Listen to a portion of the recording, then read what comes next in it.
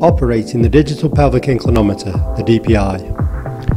Using a DPI allows the practitioner to expand their clinical biomechanics findings to a much more in-depth level around the pelvis, opening up a whole new realm of musculoskeletal understanding.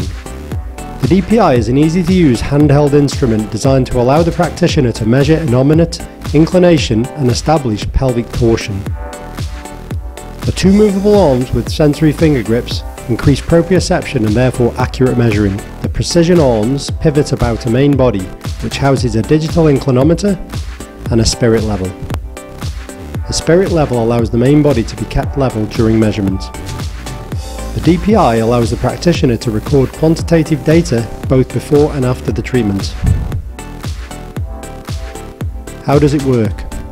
Data is captured by the DPI via a tiny 3-axis accelerometer attached to a small electronics board.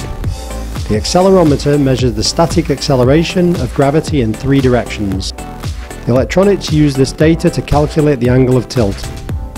This data is then shown in numerical form on the LCD. The DPI is only as accurate as its user and has a high inter and intra practitioner reliability if used in the correct manner, following the guidelines below. Handling instructions.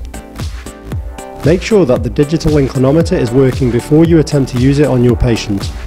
To test that the DPI is working correctly, press the red button on the front face of the DPI and observe the digital numbers are displayed. Tilt the DPI up on one side and observe the change on the display. Ask your patient to stand upright in a space which gives you the practitioner enough space to kneel down by the side of them on both sides of the patient. Your patient should ideally be wearing suitable clothes to be assessed, i.e. shorts and t-shirt for males, shorts and a crop top for females. Belts, buttons and other clothing accessories can inhibit an accurate reading.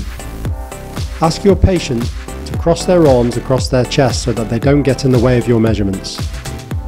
Kneel down by the side of your patient and have the DPI accessible for use.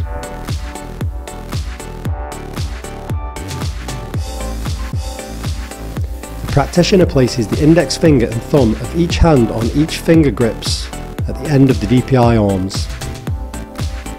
The index finger and thumb are touching, pinching the end of the DPI finger grip.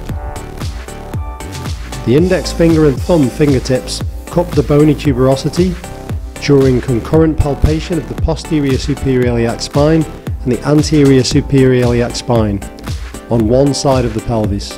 The practitioner positions the DPI making sure that the spirit level bubble is central before recording the value on the LCD screen.